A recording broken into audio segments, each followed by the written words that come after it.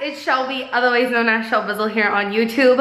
Um, I just realized it's probably really echoey in here and I was about to say, can you guess where I am? Um, but mostly you're just seeing like a white wall at this point. Um, I'm in my new home. And I've been wanting to do a house tour for you guys. I made the mistake of telling you that we were buying a home kind of early on in the process and now I feel like everybody is asking me for a home house tour and I feel bad that I can't give it to you yet. So I wanted to let you know what happened during the process of buying this house that made it kind of impossible for me to show you a house tour just yet or anytime super soon, to be honest, because I literally, this is like the third night that I've spent in this house, um, and I just have so much going on. So let me go upstairs into my bedroom so it's not so echoey, and um, yeah, I'll tell you a little bit more about why I can't show you the house or why the process is going to take so long and has already taken so long. I'm gonna take my hair down real quick. All right, so here's how this all went down. I told you guys uh, probably like mid-February that we were uh, thinking about buying a house. And that's when we started looking at homes.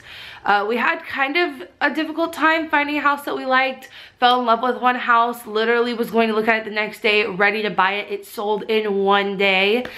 It's been a crazy journey, but basically I wanted to tell you about since we put an offer in on this house, what happened. So we put an offer in on this house and typically it takes like a month to close on a house, which just officially means that it's yours. And if you guys remember, or if you've been following me on Instagram, you should because I'm going to reference a lot of things um, that like maybe you've seen on Instagram throughout this video. We went to Portland and Seattle. I also made a video about that. I'll link it up there if you haven't seen it yet. As we were boarding the plane to go to Portland, that's when we got the email that we were good to close on the house. So basically like all your inspections are done, all the good stuff is, is done for, um, you can close like as soon as you have time which meant that I wasn't going to be home for two weeks, okay? So that already like kind of messed us up. But that was no big deal. We were still going to have plenty of time to like get everything done. So I got back from Portland on March, I think it was 22nd.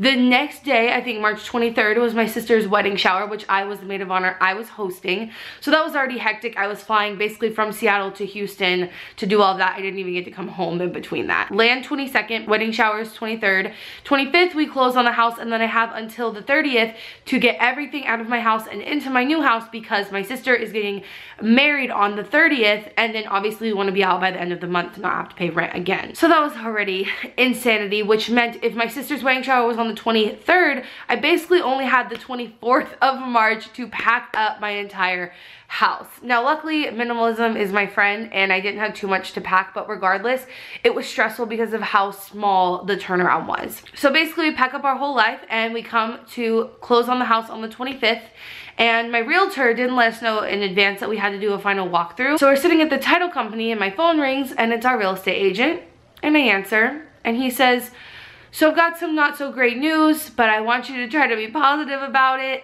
Um, you're not closing on your house today. Without getting too far into it, I'll put a picture here of what happened. There was a huge leak in our master bedroom that led uh, to the basically the roof falling down in the garage. So we had to wait um, like two weeks from when we thought we were gonna close to when we actually closed, which was mid-April. And in between there, I essentially was just living out of boxes. And also, the I think like the day after uh, I found out that we weren't gonna close. I got invited to go to LA to be on the Minimalist podcast. That was so fucking exciting. And then the day after I got back from the Minimalist podcast, I got an offer to go to Atlanta to go hang out with Habitat for Humanity and see the energy efficiency projects they're doing in their homes and wow life has just been insane i have not been able to stop which i am so grateful for but at the same time for the last like three weeks i've been traveling and living out of boxes and if you guys have seen me on my instagram story i've essentially been wearing like the same stuff for the last like two weeks, which is kind of normal for me. So I don't know if you noticed if it was weird or not, but that's just a fact because I got this thredUP box like, um, when did I get this? I don't remember the date I got this, but I know that all my stuff was packed up when I got back from Portland. And some of the things were in here. One of the things I got before I went to Portland. But basically for the last couple weeks, I've been living out of this cute little polka dotted box. And yeah, I am partnering with thredUP on this video, so I'm gonna show you some things that are cool in here later. But I just wanted to let you guys know what is going on in my life because I don't want you guys to be confused. I feel like everyone in my life is confused. My whole life path is different. Things keep getting delayed and pushed back and why am I traveling like all the time now and it's it's not been like a planned thing to to close on the house late to go to LA and Atlanta and Portland and all of this stuff, but I am incredibly grateful that my life has worked out this way. Um, and yeah, I just, I'm gonna take you guys along with that adventure. Um, let me show you what my corner of my room looks like. That's, that's a mess. I mean, that's, and then there's Tippy but he's adorable. But yeah, life has just been a really intense and I wanted to give you guys a rundown. So I vlogged some things during the move. Uh, we went dumpster diving to get our boxes. I wanted to include that. I'm gonna try some of these things on. Oh, and actually this video, I think I'm gonna post it on Earth Day. Um, ThredUp is doing this really cool promotion where anybody who orders on Earth Day, I think it's the first 100,000 orders that they place, but they said they expect them to go very, very fast, are these little pins that just say used. I'll put a picture of one on the screen if I can find it. I just interviewed the brand director for ThredUp and I'll link that in the description so you guys can go listen to that as well. But she was explaining to me that they're doing this promo for Earth Day because the secondhand market is growing so, so much but it's kind of invisible because it's one of those things like when you look at someone's clothing, you can't tell that they're wearing secondhand. And so it's a movement, but like we're all kind of invisibly doing this like really responsible, like cool thing. And so their idea was to give away these pins that say used so people know that you're wearing used clothes and like you're proud to be a used clothes wearer. And I think it's really cool. I'm gonna I'm gonna order something on Earth Day so I can get the pin. And I'm also gonna put it on my denim jacket. I'm really excited about that. So I wanted to let you guys know while you're watching this if you go down to the description you do get 30% off of your first order by using my link. So make sure you go down there and do that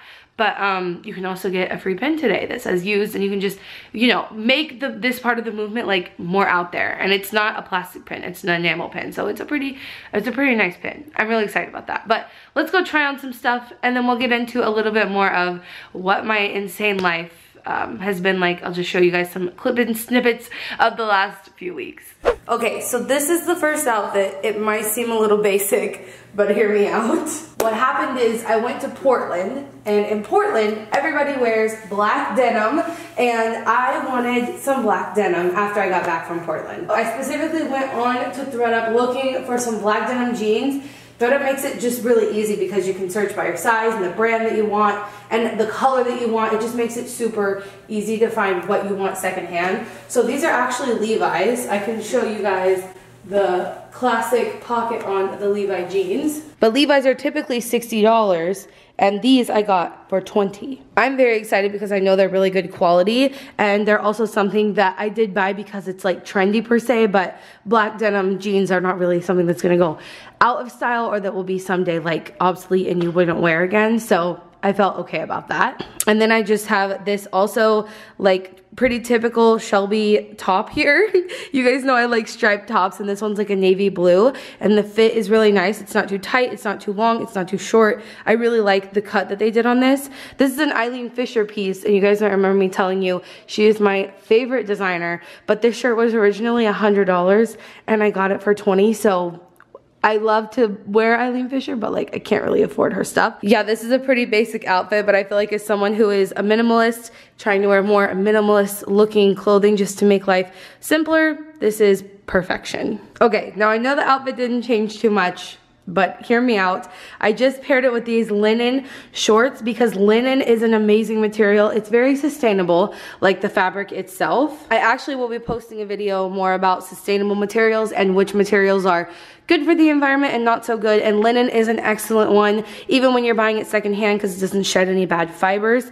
These shorts are actually from Old Navy and I got them for a super good deal, but I don't shop at Old Navy because I don't support their practices. Back in the day when I was dumpster diving, I used to find they would throw out perfectly good things and cut them so that people couldn't use them and they didn't donate them and all that sort of stuff. So I don't support Old Navy as a brand, but I really do like these shorts. Um, I plan to get them in multiple colors as soon as my saved search on ThredUp tells me there's more just because they're like the perfect fit and good material for summer to not be too hot in this Texas heat. Okay, now I've been meaning to iron this since I got back from my last trip. It's a little wrinkly, but you also might be thinking, Shelby, isn't that your favorite top that you talk about all the time. Like if you know what my favorite top is, you know it looks basically just like this. It's linen, it's white, it's from Torrid. And this shirt is all of those things. Um, and it also is secondhand on ThredUp, my favorite shirt. And so is this one but they're not the same. They are a little bit different.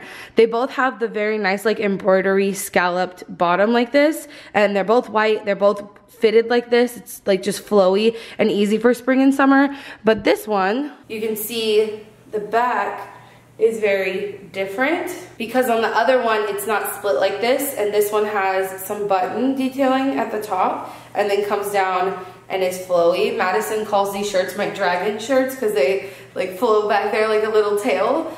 And then there's this item that might literally be my favorite thing in my closet, literally right now. You would have seen this all over my Instagram stories and even in an Instagram post, I'm sure. So the reason I like this jacket so much and the reason I seeked it out essentially is because I've trying, been trying to get better about buying natural fibers. So this jacket is made from something called Tencel, and I was specifically looking for something made from Tencel because I kept hearing how wonderful it is, and I had never tried anything. Um, and this jacket is again from Eileen Fisher, and it is 100% Tencel, and when I tell you, it is the silkiest material I've ever touched. I mean that. It's so soft.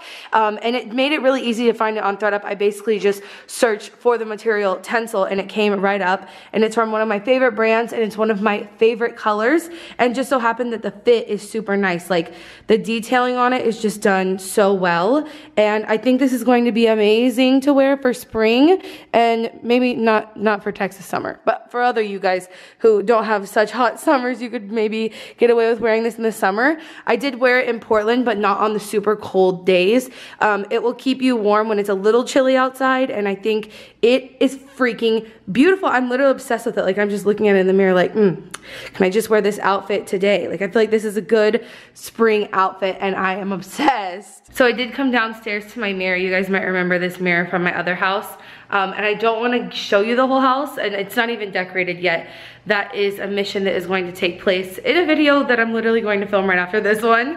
Um, I'm not sure which order they'll go up in, but I was out of town for a lot of time and so now I'm like trying to get back on it. But you did get to see a little bit of the downstairs, so don't spoil it for yourself. I will do an entire proper house tour when the time is right. But first, I did want to thank ThredUp for partnering with me on this video. I love their shopping service so, so, so much. And on top of loving them for partnering with me, they give you 30% off of things that are already really good quality at already super low prices. Like you just can't beat it. I love them so much. So click the link to get yours and if you literally order today on Earth Day, then you'll get the free pin to show off that you're proud to wear used clothes and it's not icky and we can, you know, try to stop that stigma a little bit more. Okay, so let's get into what I've been up to since I haven't been posting. I've actually missed one or two posting dates. I hate doing that. So basically this week, what you're seeing right now, this might be like my third or fourth video this week. I'm gonna try to pump them out because I feel really bad. You know, I used to hate when YouTubers say like, I'm traveling so I couldn't work but like I did work and then like things just didn't work out. Like I had things planned for when I would be gone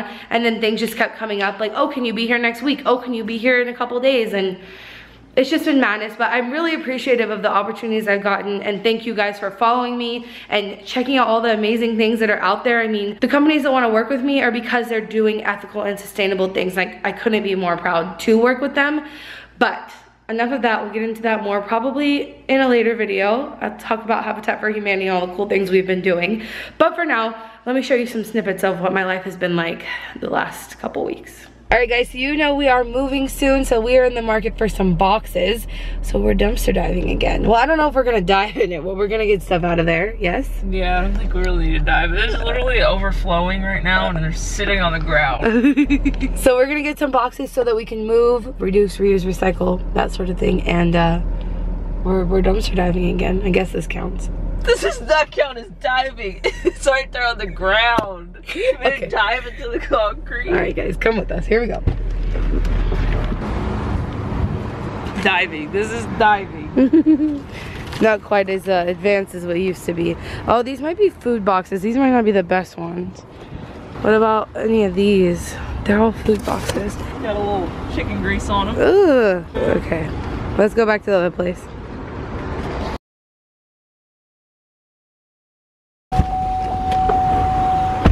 I told Madison she always used to make me be the one to jump in, so she gets to be the one this time. Oh, yeah, those are nice. Oh, yeah. Okay, you want to flip it? Can you flip it? It's kind of hard. Probably not. here, I'm a little bit taller. You can grab it from up here. My, my advanced skills. No. Good thing we're not trying to keep a low profile.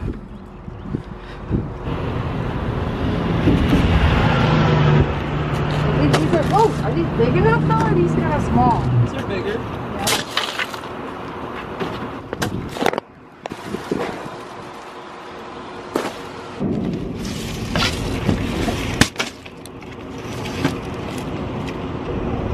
Flip flops. What did I say when I used to dumpster dive? No Never do it in flip flops. All right, next place. Yep. Madison called Walmart and Target before we started this to see if they have any boxes that, that we could just have that they weren't gonna use. And they told us we'd have to come at a certain time and ask a certain person. So we're like, we'll just take dumpsters instead. Tuesday morning. Oh, that's- yeah, that's probably a good one. Oh yeah, those are nice. Ew. We're borrowing my mom's car, guys, so that we can move stuff. And then pack it down with boxes. Oh, you didn't close all the way, babe.